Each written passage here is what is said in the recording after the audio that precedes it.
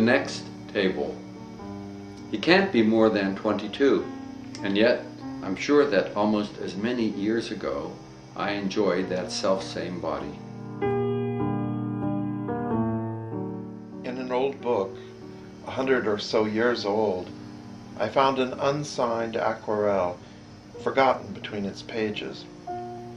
No doubt the work of a very able artist. It bore the title Depiction of Love.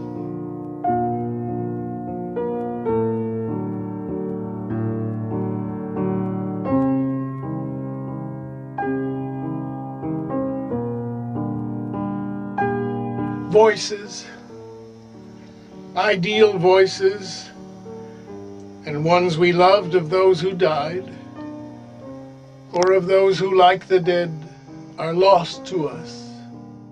I sit and meditate. I brought to art desires and feelings, some things half seen faces or lines, some indistinct memories of unfulfilled loves.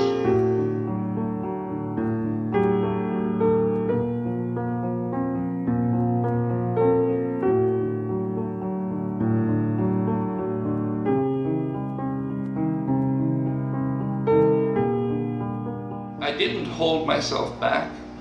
I gave in completely and went. Went to those delectations that were half real, half wrought by my own mind. Went into the brilliant night and drank strong wine, the way the champions of pleasure drink.